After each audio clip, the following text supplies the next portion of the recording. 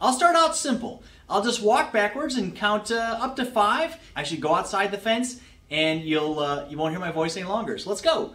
Five, four,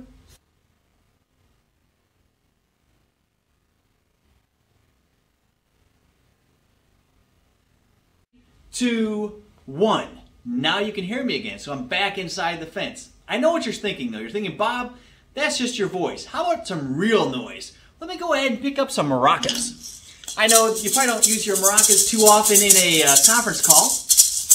Let me go ahead and move backwards again.